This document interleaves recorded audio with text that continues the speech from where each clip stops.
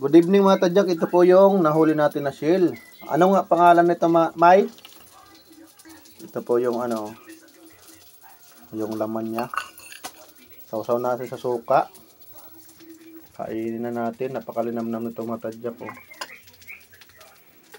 Sausaw sa suka. Ayan mga tadyak, kainin natin. Mm. Napakalanam naman to, Jack. Sarap lang to inihaw.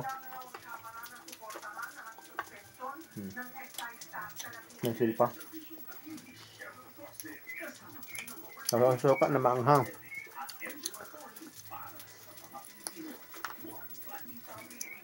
Hmm. Hmm. Nakunat, napalaway pa tayo. Hmm. Ay, luto na siguro na. May, Hindi pa? ano pangalan nito, May? Saang? Saang. Ito yung saang. Kinakain ko.